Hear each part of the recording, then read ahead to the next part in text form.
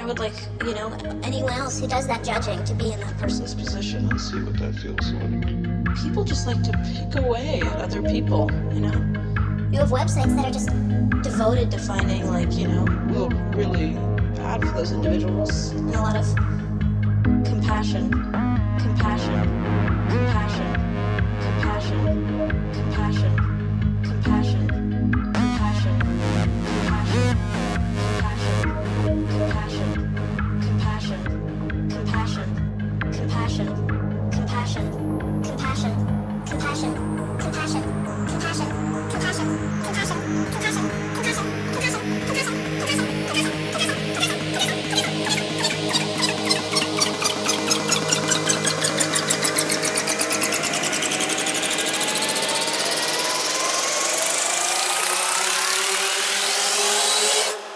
Compassion, passion, passion, passion.